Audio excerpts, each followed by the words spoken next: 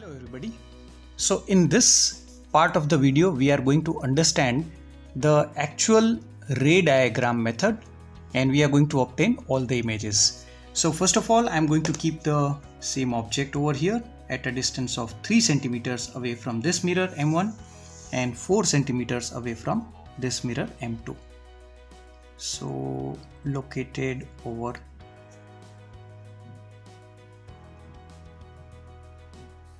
here.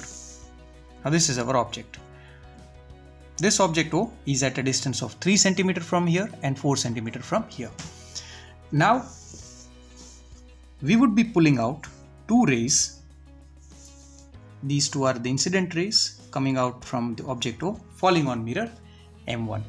Now the image is formed 3 centimeters behind and how do we know?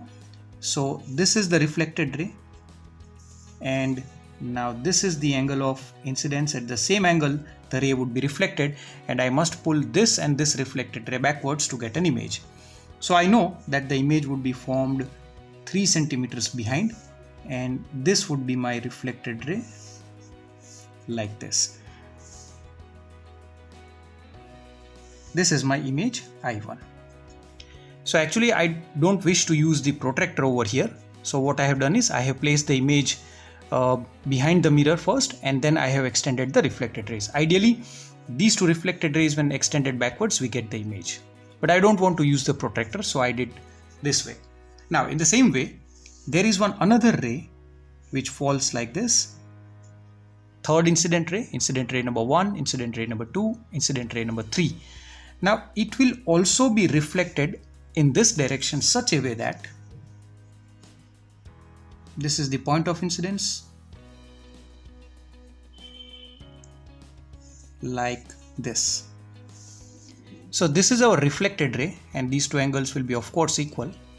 Now let me give the name as this is say ray number 1 this is ray number 2 now for this mirror m1 this is my incident ray because it is falling from the object. This is our object o and this is our reflected ray for this mirror. But if you notice very carefully that this ray is not going to vanish from here it is going to strike the mirror and it is going to hit the mirror somewhere over here like this. So this is the point of incidence. Now this is the incident ray for this mirror m2 so for mirror m2 ray number 2 which was the reflected ray for m1 is now incident ray for M2. Now this incident ray always comes out from the object. Now over here, if you look carefully, then this incident ray appears to be coming from I1. So that's why this behaves as an object for M2 because this incident ray appears to be coming from I1. Under that situation, you can extend the mirror well like this. Now since this is the object its image would be formed somewhere over here. So I should measure this distance. This is 4 centimeters. So at 4 centimeters behind I should get my image here. And that I am going to call as I1 star. Now this is the object. This is the incident ray. This is the image. And this should be your reflected ray because if you extend the reflected ray backwards you should get the image. But I have an habit of drawing image first because I don't use the protractor and of course you can draw normal as the angle bisector. So this is the object for mirror M2 this is the incident ray. This is the reflected ray. And if you extend reflected ray you get the image same distance behind. This is 4 centimeters. This is again 4 centimeters.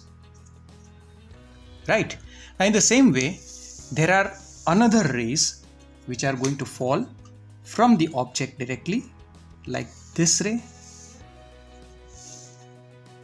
this ray and this ray. There are three rays which are going to come from the object directly strike the mirror M2 now I know that the image will be formed 4 centimeters behind. So from here it would be 1 2 3 and 4 so here would be the image I2 and all these rays would be reflected like this. Because all the reflected rays when I extend them backwards I should get the image. And this ray would be going in this way. And this ray we have to be very careful over here that this ray would be bouncing like this. Let me give the name as A B. Now you can see very clearly that A is the incident ray for mirror M2 B is the ref reflected ray for mirror M2 but B is the incident ray for mirror M1 because this ray is striking the mirror over here and this ray appears to be coming from I2 so this behaves as the object for mirror M1 you can see that this is our incident ray appears to be coming from I2 so this behaves as an object now under that situation I can extend this mirror behind like this. This is the object, this is the mirror. So image must be formed behind the mirror at the same distance. This distance is approximately 3 centimeter. So 3 centimeters behind I am going to get my image I2 star which is coinciding with I1 star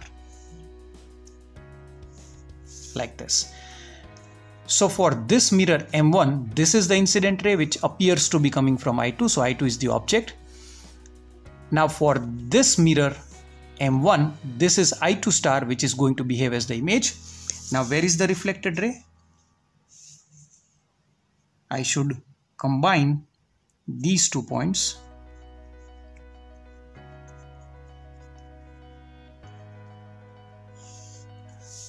This C is the reflected ray and if I wish to draw the normal of course perpendicular to the mirror and the angle bisector like this. Now what we need to understand is this is known as primary image this these two images are known as secondary images. This is again primary image. So what is primary image? So you can see that these all rays they strike this mirror once. So one time reflection happens and we are extending the reflected ray backwards. And this is the image form. So any image which is formed due to one-time single-time reflection are known as primary images. Whereas you can see these images, they are formed due to the second time reflection. This is one time reflection here, second time reflection over here, and you are extending it backwards. So this is how it goes. I suggest everybody to practice this two to three times to gain a better understanding. Thank you.